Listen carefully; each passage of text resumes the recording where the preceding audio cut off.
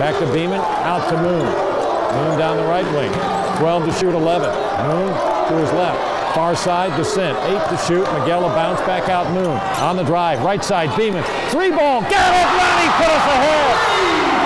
At 64 61. Ronnye Beamon with his first basket of the night, Jay, gives Morehead State the lead.